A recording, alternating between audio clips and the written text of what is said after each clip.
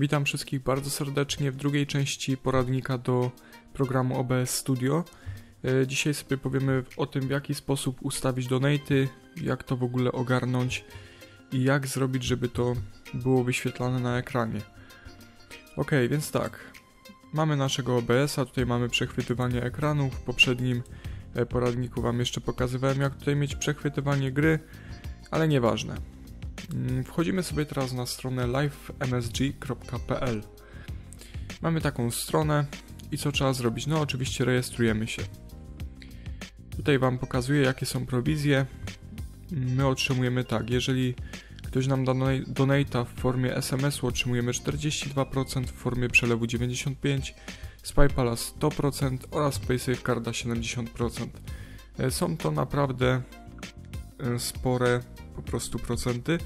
Z tym, że trzeba pamiętać, że są to po prostu kwoty netto, czyli bez podatku VAT. Czyli e, my otrzymujemy te pieniądze na naszego PayPala później, bo za chwilę przejdziemy do tego, w jaki sposób wypłacić te pieniądze. Ale musicie wiedzieć o tym, że trzeba się rozliczać z takich e, dotacji.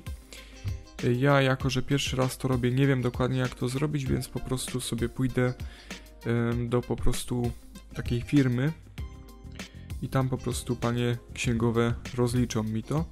Podejrzewam, że za taką usługę trzeba zapłacić, no myślę, że to jest logiczne, ale e, od razu mówię tutaj, że trzeba od tego odprowadzać podatek. Także jeżeli ktoś nie wie jak odprowadzać taki podatek, na przykład ja nie wiem, to po prostu pójdę sobie e, do tej firmy i oni mi to tam odprowadzą. Także tutaj od razu jakieś pytania na temat tego, czy trzeba płacić podatek, czy nie. Mówię, że trzeba. Ok, więc tak, rejestrujemy się na stronie, klikamy sobie tutaj rejestracja, trzeba tutaj wypełnić wszystko, klikamy zarejestruj. Tam jeszcze trzeba będzie potwierdzić adres e-mail. No i ok, założyliśmy sobie konto, klikamy zaloguj i gotowe. I teraz tak. Przejdźmy sobie do najważniejszych rzeczy, czyli tak. Ustawienia. Możemy sobie w ustawieniach zmieniać e-mail, zmieniać hasło.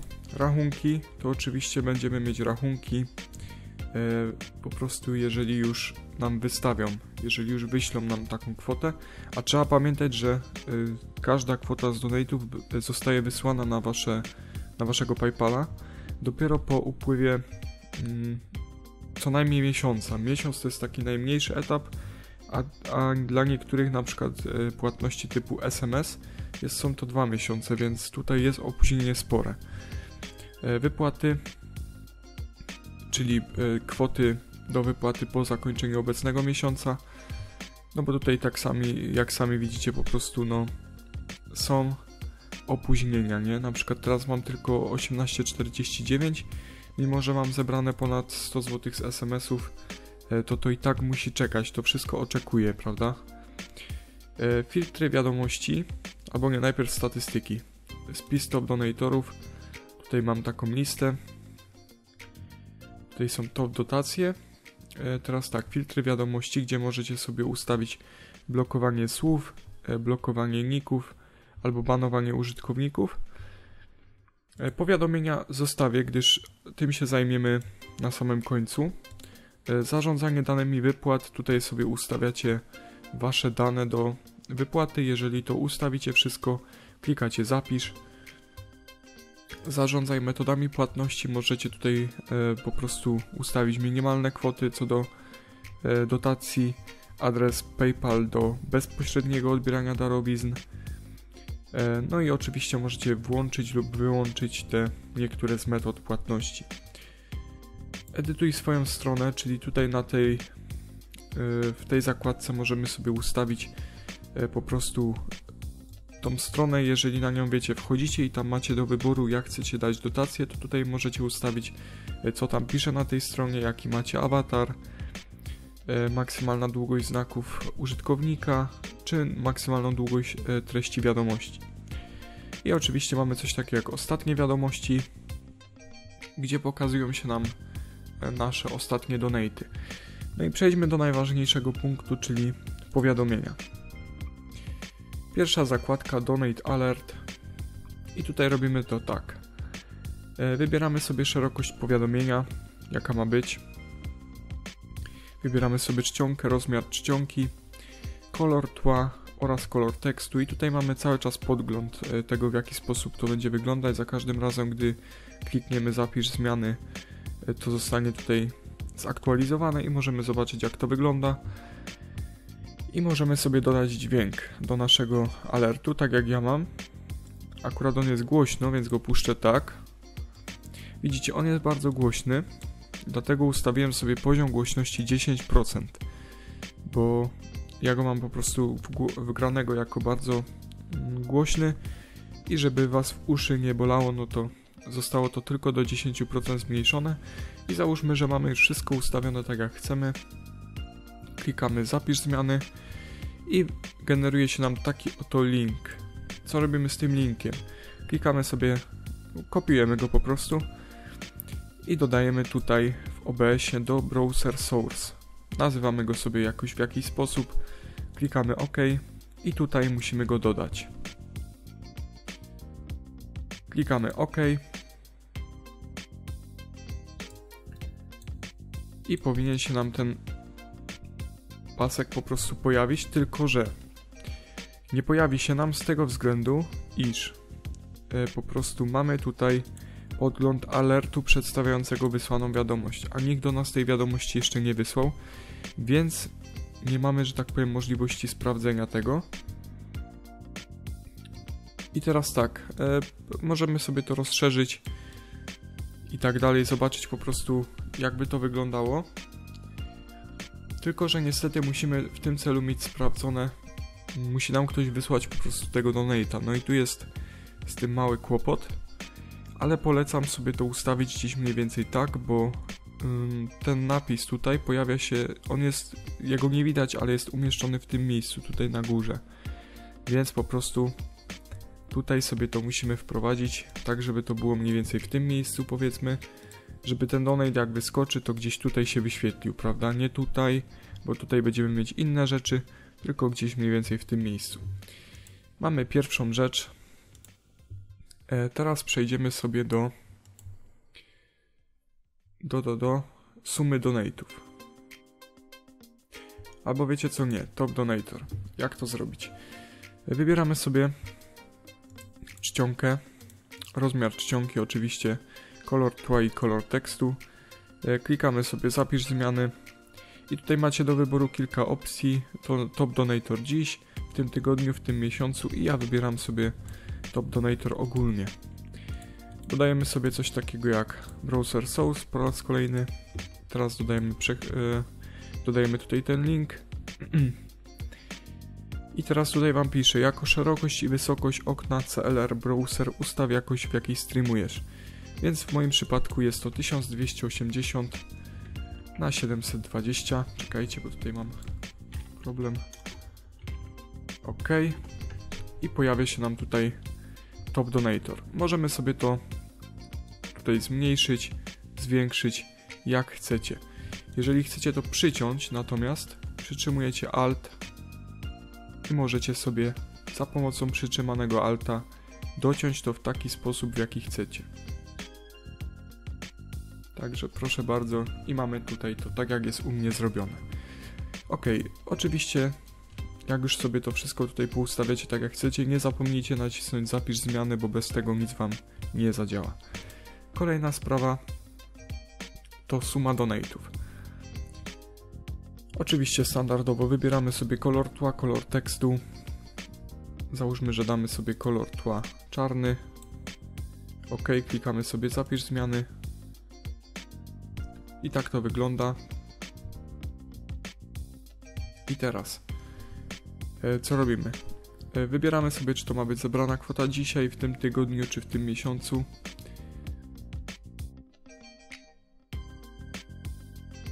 I możemy sobie to dodać tak samo mm, tutaj do oczywiście naszego OBS-a jako browser source dodajemy tutaj, klikamy OK.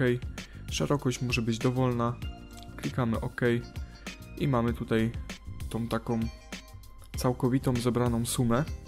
Oczywiście wy musicie wiedzieć, że e, ta, ta suma, która mi się tutaj pojawiła Jest to suma oczywiście po, po, o, po odliczeniu tego tych prowizji, które zabiera serwis, a tak naprawdę y, wy wysłaliście więcej, nie? Więc to tak działa, że tutaj wy nie będziecie mieć kwoty taką, takiej, jaką wysłali donatorzy, tylko po prostu kwotę, która jest uzbierana po odtrąceniu prowizji, prawda? Czyli jak ja po prostu kupuję kamerkę za te 329 zł, no to tutaj te prowizje zabierają z tego tyle, więc będę musiał po prostu część dołożyć, prawda? Ustawiacie sobie to na przykład, nie wiem, gdzie chcecie. To jest wasza suma łączna donate'ów. Ja tego akurat na swoim streamie nie mam, więc ja tego dodawać nie będę, ale pokazuję wam, żeby nie było. Kolejny alert to cele. I tu już jest ważny alert, ponieważ tutaj jest sporo do ustawienia.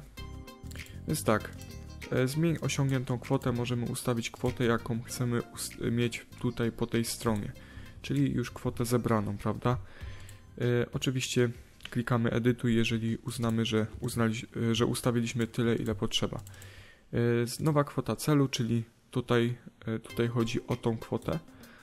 Ustalamy sobie jaką chcemy, klikamy edytuj, OK. Nowa nazwa celu, czyli to co będzie pisać tutaj, wpisujemy w tym miejscu, klikamy edytuj i jest OK. Możemy czcionkę zmienić, jeżeli chcemy. Tutaj sobie wybieramy kolor tekstu, kolor celu, obramowania i tła. I klikamy aktualizuj wygląd celu. Otrzymujemy wtedy taki oto link. Kopiujemy go sobie, dodajemy jako browser source po raz kolejny. Tutaj to dodajemy. Klikamy OK i mamy taki oto pasek. Myślę, że prosta sprawa. E, kolejna sprawa to Donate Train, którego ja osobiście nie używam. Jest to coś w rodzaju tego, że na przykład leci czas, odlicza się wam ten czas, 3 minuty powiedzmy i lecą donaty, nie? Ja tego w ogóle nie używam, e, więc nie wiem dokładnie nawet jak to działa. Jeżeli ktoś to chce dodać, to wystarczy sobie tutaj ustawić czcionkę, kolor, później klikacie zapisz zmiany i możecie to normalnie tutaj tak samo jak i resztę rzeczy dodać do browser source. Klikamy OK dodajemy i mamy ten oto train. Kolejna, już właściwie jeszcze tylko dwie rzeczy w sumie zostały, czyli ostatni donate e, to mam akurat ustawione no tak samo jak w poprzednich częściach. E, bierzemy tutaj czcionkę, rozmiar, kolor tła, kolor tekstu. E, klikamy zapisz zmiany i kopiujemy sobie to jako browser source. Jest to takie wszystko podobne do siebie, że tutaj nawet nie ma co tłumaczyć za dużo. Szerokość również jest dowolna. I proszę bardzo, mamy ostatni donate. I teraz jeszcze ostatnia już sprawa, czyli czas zakończenia live'a. To tutaj sobie już sami ustawiamy, o której ma się zakończyć live. Ile sekund do końcowego czasu ma dodawać każda wysłana złotówka, to również mocie, możecie ustawić. To jest ciekawa sprawa, bo można sobie dodać taką opcję, że załóżmy live będzie przedłużany z każdą złotówką. Całkiem fajna sprawa, ciekawa. E, czcionka, oczywiście kolor tekstu. Klikacie sobie zapisz zmiany i możecie sobie dodać taki, takie oto coś. Browser source, klikamy tu. Szerokość okna 800 pikseli, OK. I gotowe. Mamy takie oto nasze okno. I teraz tak, powtórzę jeszcze jedną opcję. Albo jeszcze bym zapomniał. Jeszcze bym zapomniał najważniejszego. Yy, czyli momencik, momencik, suby. Widzicie, o tym bym zapomniał i byłby problem. Więc tak, co do subów. Yy, wchodzimy sobie na stronę yy, live I mamy taką oto stronę jak livecounts.net. I teraz tak. Hmm, musimy tutaj. Chwila, bo to nie wiem. Nie wiem jak ta strona dokładnie. Działała, bo ja tutaj jakoś mi się to udało zrobić, ale czekajcie, damy sobie slash channel sąsiad 133 Mamy sasiad 133, czy w ogóle znajdzie?